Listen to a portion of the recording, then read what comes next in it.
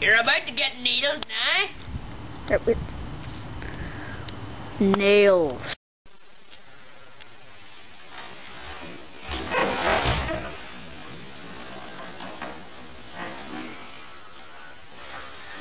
Well, this look like I've got an offensive weapon on me, but what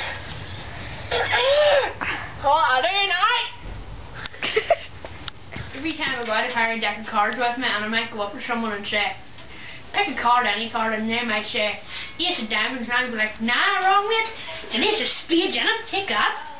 Well, this look like I've got an offensive weapon on me, but in fact, I do now.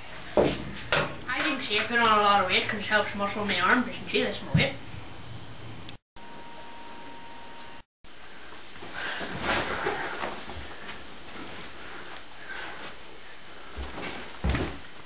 You're creep now.